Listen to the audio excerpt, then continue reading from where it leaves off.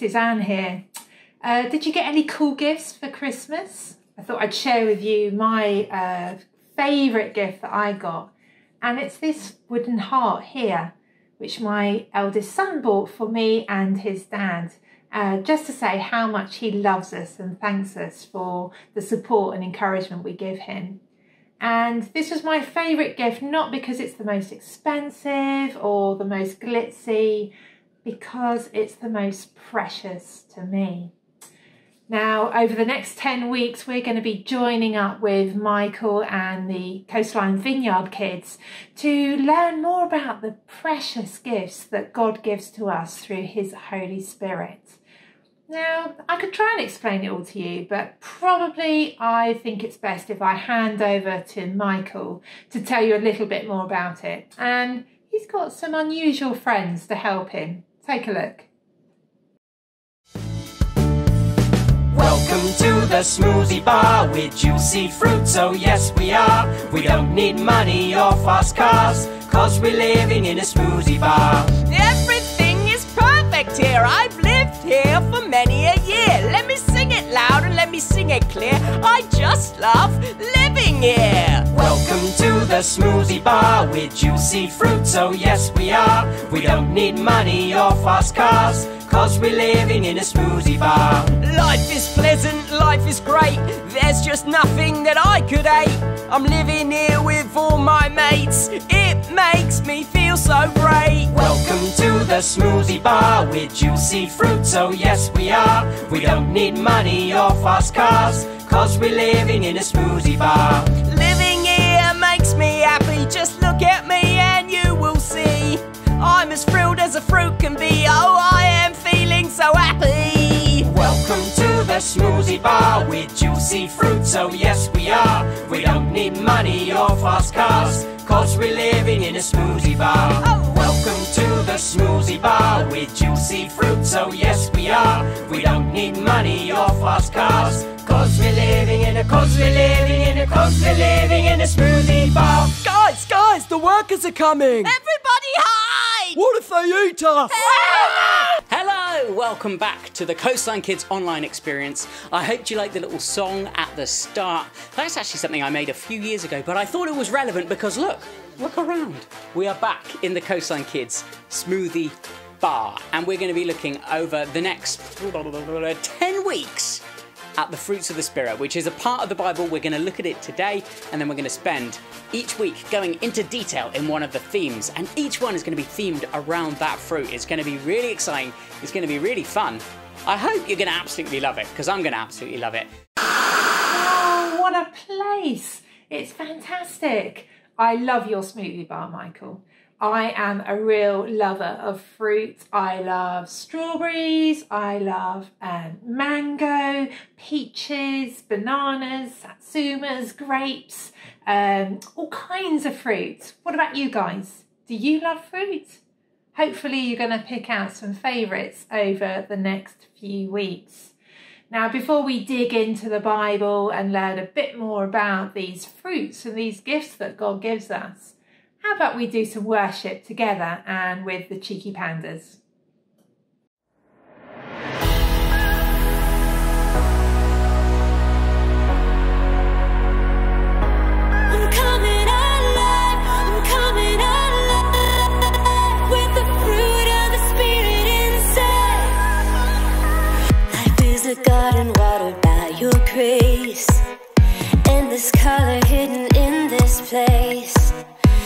Beauty deeper than my eyes can see.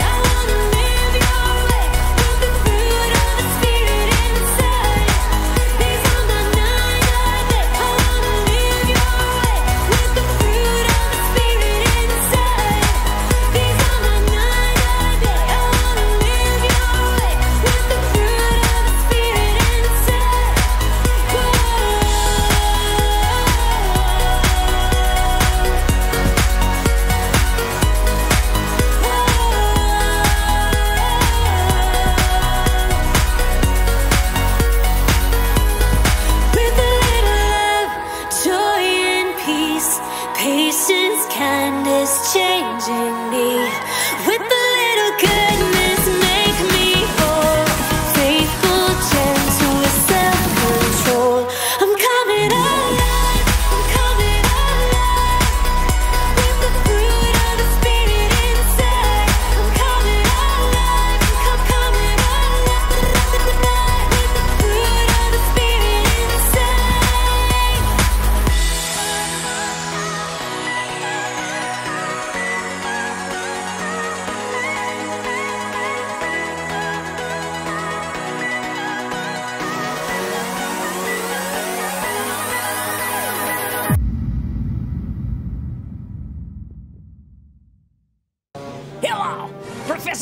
Here, and this week we're gonna do something completely different.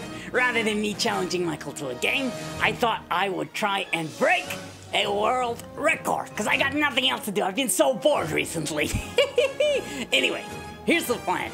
I'm gonna try and break a world record for the most number of post-it notes stuck to my face in 30 seconds. The current record for most notes stuck on face in 30 seconds is 38. I'm gonna try and beat that today. But take your vote right now. Do you think I'm gonna beat the world record, beat 20, or do very, very, very badly? Take your votes, make your guess. Ladies and gentlemen, here we go. Three, two, one, go! Oh dear. They're not sticking at all. Okay, here we go.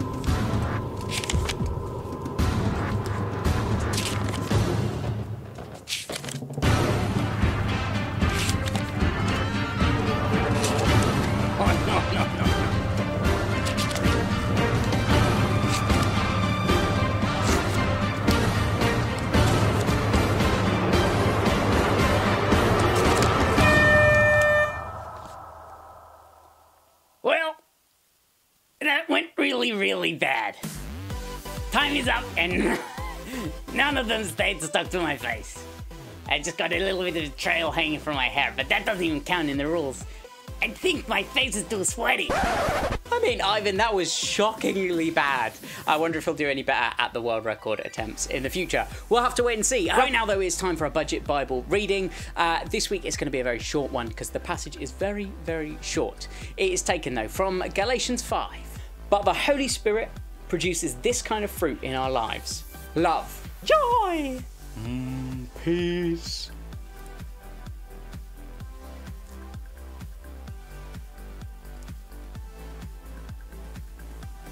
Patience, kindness, goodness, Faithfulness, gentleness.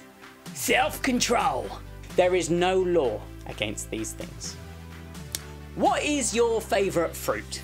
Mine is, well, I've got three really cherries, mango, and raspberries. Those are my top three fruits. Now, fruit is one of the best foods because not only is it delicious, but it is also very good for you, which generally speaking never happens with food, does it? Think chocolate, cake, sweets, they're all bad for you. Usually the tastiest stuff is the most unhealthy, but fruit is tasty and healthy. I'm getting way too sidetracked by fruit. Here is an apple tree.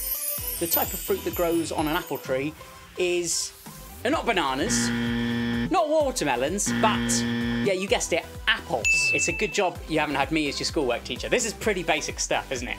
Now, can an apple tree grow lemons? Or a pear tree grow peaches? Of course, the answer is no, it's not possible.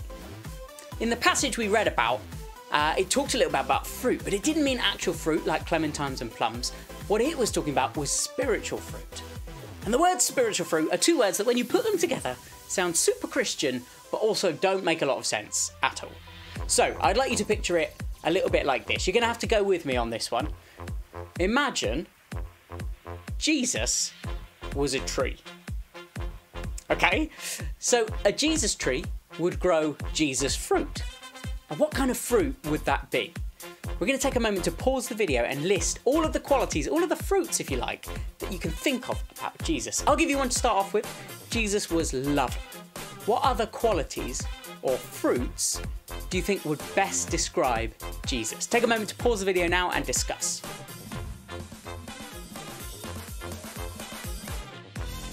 So, what fruits did you list? I reckon there's some of you who are very clever. You know where I'm going. You've probably listed them all already. But the Bible gives us a list of characteristics, this Bible passage that we read, which are like fruits that will grow on a Jesus tree. These are the things we read earlier. We've got love, joy, peace, patience, kindness, goodness, faithfulness, gentleness, and self control.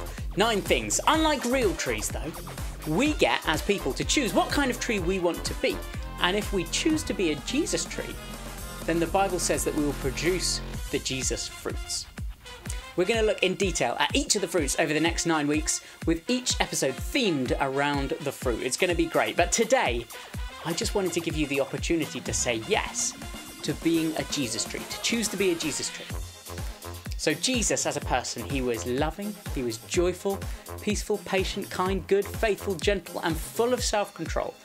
And if that sounds like the kind of person that you would want to be friends with, I mean, who wouldn't? Well, you know what? You can be. If you choose to be Jesus' friend, he will give you a gift, which is the Holy Spirit. And it's the Holy Spirit that produces that great fruit in our lives. If you'd like to become Jesus' friend for the first time, that is super exciting. Or if you're already Jesus' friend, but you want to become more like him and grow more of that fruit, then I'd like to invite you to repeat a prayer after me. We're all going to do this together. Are you ready? Say it out loud after me. Jesus, Jesus, I want to be your friend. I want to be your friend. I want to know you more. I want to know you more. And I want to be like you. And I want to be like you. Amen. Amen. Awesome. Thanks for praying that prayer with me. Do you know when we pray a prayer like that, there's a party going on in heaven? Isn't that really cool? That's awesome, isn't it? Holy Spirit, would you come and fill us now? One of the best ways to get to know our friends is by talking to them. So if you've just prayed that prayer, you've become a friend of Jesus for the first time. I'm going to hand you over to Alison, who's going to lead us in some chat and catch, which is where we spend some time getting to know Jesus. Hi, this is Alison, and I'm videoing from my house today. So, this is where I live. Okay, we're going to do some prayer time now. We're going to do that fantastic thing called chatting with God so that He gets to know us and we get to know Him. So, remember how we do this? We think of the answer to our questions and we say them in our head. If you want to, you can whisper them in your hands. Today's questions. The first one is What makes you laugh? Jesus wants to know what makes you laugh. Really have a good old laugh. So,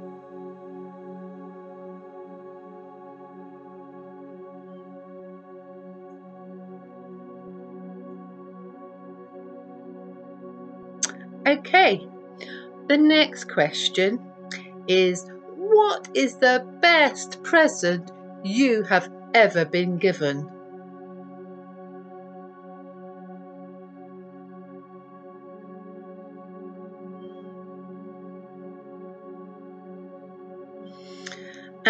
The third question this week if you were going to buy a special present for somebody, what would it be and who would you give it to? A special present for somebody? What would it be? Who would you give it to?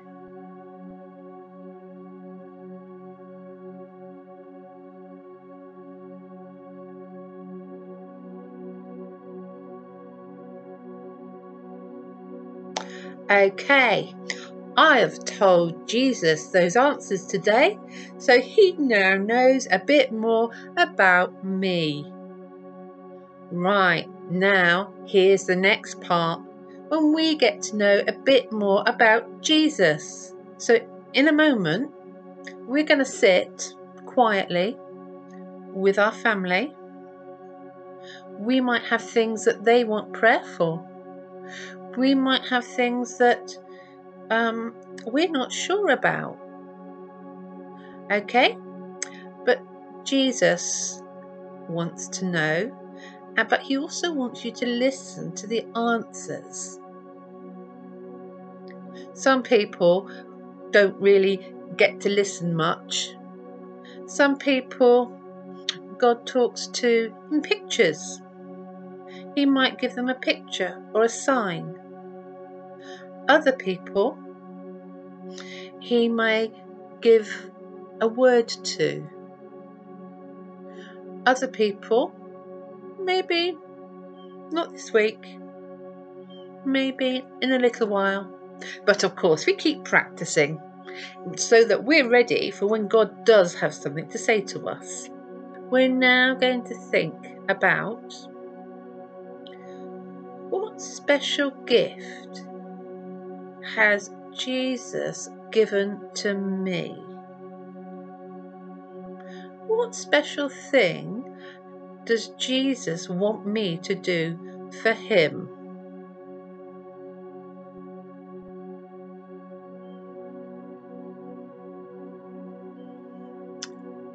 I like to hold my hands out so I receive from him.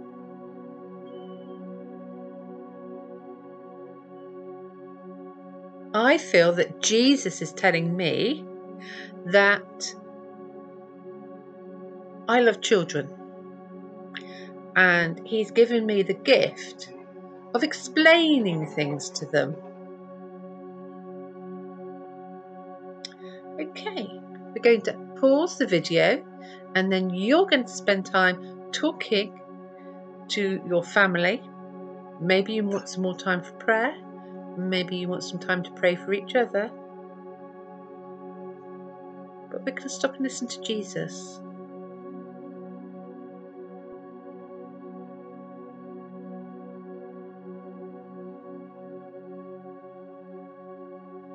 We're going to spend some time once again worshipping Jesus. Would you stand up to your feet and uh, let's sing it out with all that we've got? Do join in with the actions. Let's worship together. Jesus, Thank you. We want to be more like you. We want to be a Jesus tree. We want to produce Jesus fruit. And we want to worship you now. Amen.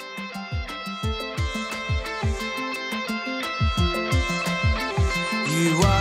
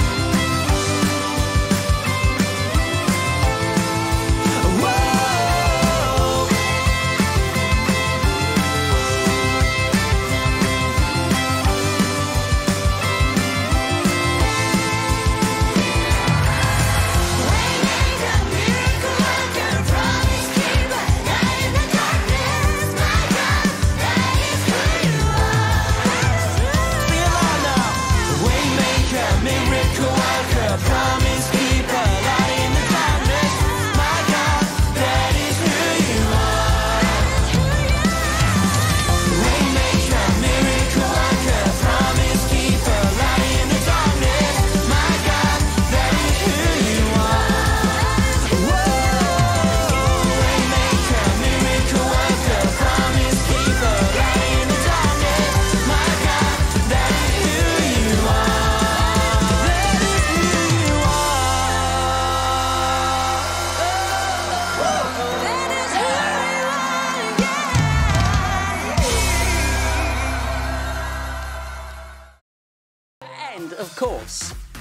to get a bit messy. It is time for a pie, and today I'm going to do a bit of a deluxe pie. I'm going to add some fruit in. So I've got some raisins here.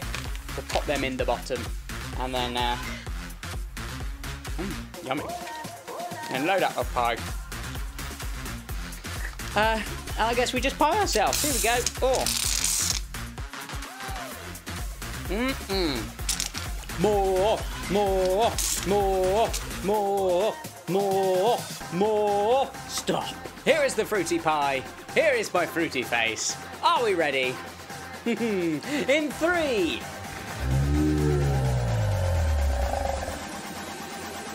two, one.